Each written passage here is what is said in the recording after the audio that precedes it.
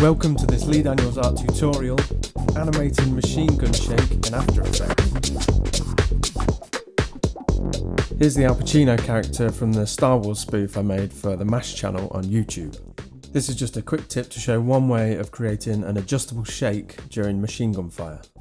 First of all, I'll hide and shy the production elements, so turn off the muzzle flash so we can see what we're doing. The moving parts are made up of five elements, the gun, the forearms and the upper arms. First of all, I just shy the gun artwork and then create two null objects. One for each wrist.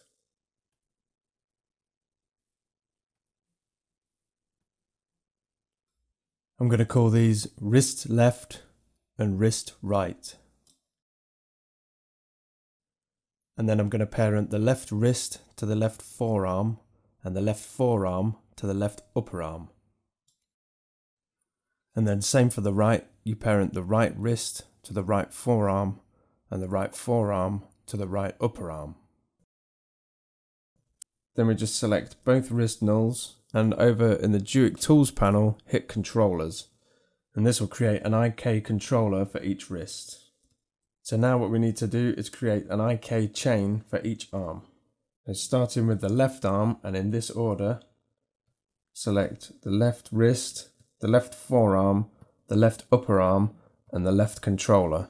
And then over in the Duik panel, hit IK and click OK.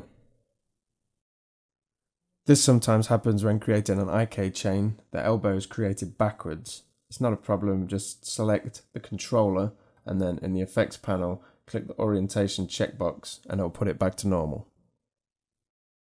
So now we do the same for the right arm. Select the right wrist, the right forearm, the right upper arm, and then the right controller in that order. Over in the Duik panel, click IK and press OK.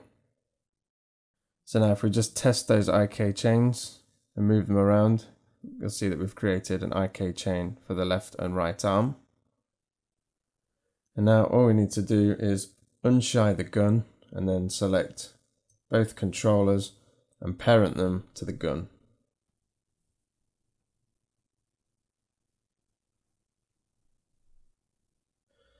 So if we just select the gun layer, hold down shift and press P and R to bring up the position and rotation parameters for the gun. We're going to apply a wiggle expression to the position and rotation.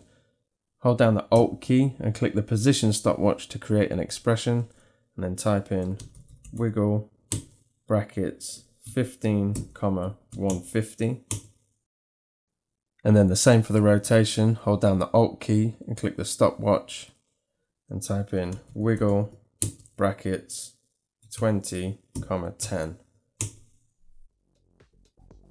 and you should have something like this.